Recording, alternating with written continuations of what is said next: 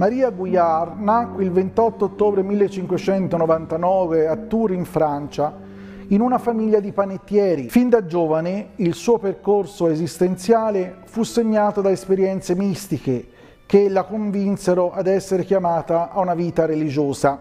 Per lei la famiglia aveva altri progetti. Nel 1617 sposò il proprietario di un setificio Dall'unione il 2 aprile 1619 nacque il figlio Claudio. Appena sei mesi dopo Maria rimase vedova e le toccò farsi carico sia dell'educazione del figlio, il quale poi si fece religioso, che dell'azienda.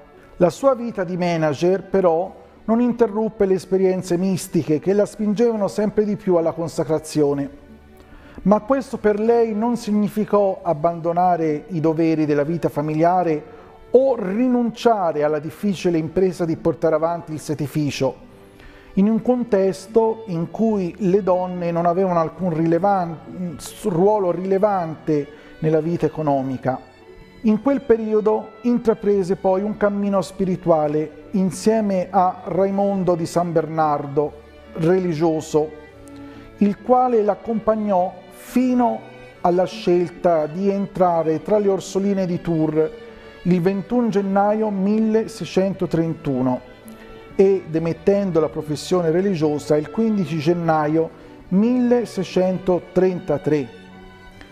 Intanto le visioni continuavano e la spingevano a percepire la grandezza e la misericordia di Dio a cui era chiamata, offrire la vita a Dio in quella Santissima Trinità che le si era manifestata durante le sue esperienze mistiche. La sua vocazione missionaria maturò grazie al contatto epistolare con i gesuiti missionari in Canada. Provata da una grande malattia, nel 1669 lasciò la guida del convento, morì il 30 aprile 1672 lasciando una comunità di suore che diventeranno nella missione del Canada le suore orsoline del Canada.